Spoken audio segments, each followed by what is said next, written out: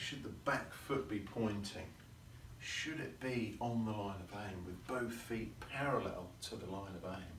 So for right-handed players, should the right foot be on the line of aim, not only on it, but pointing toward the line of aim? This is a very common piece of advice that I've been hearing since the 1980s, and not always to good effect for a lot of players. If it was correct that the foot should always be pointing toward the line of aim, then every professional would be doing it. And clearly, they're not all doing that. Some are, but some aren't. So what we're trying to move away from is a dogma, that a cookie cutter that fits every single player. What we want is flexibility of approach to find out which position suits which player the most. For example, with both feet parallel to the line of aim.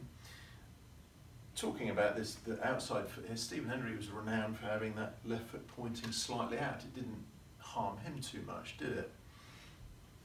A number of players have more of an angle on that back foot. That's entirely appropriate.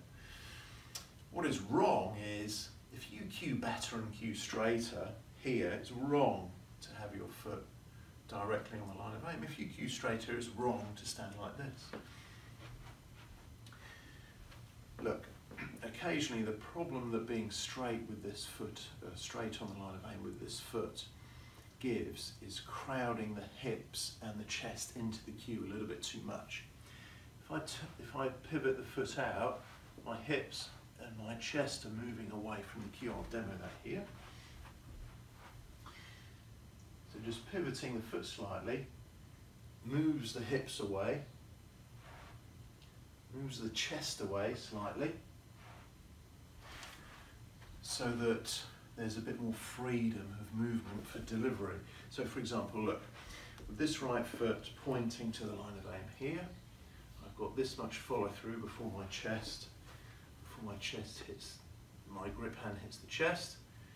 If I turn that away, my chest is still touching the cue actually, but I have a bit more follow through. And also the hips, I'm not catching the pocket, the dreaded pocket catch. The seventh pocket is the one that your hand catches if your hips are pushed too close in toward the cue.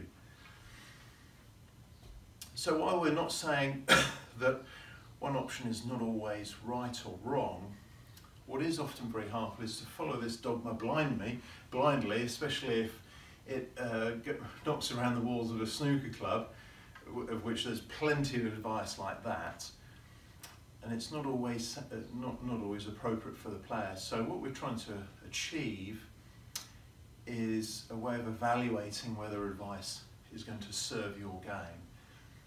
And the way to do that is just test the options open to you and see which serves the cue best. It's always the cue that we need to be loyal to.